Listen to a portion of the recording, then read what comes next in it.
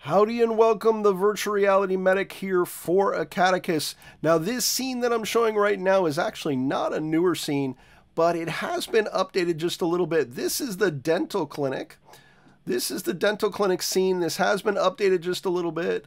And uh, you can see there's a few more chairs that need to be put in, into the scene here.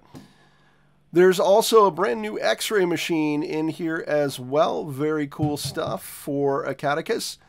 Now, uh, again, not a brand new scene, but a very, very updated scene. A lot more to come, a lot more to see. Make sure that you're checking it out. This is the Virtual Reality Medic for Acadicus. Thanks for joining.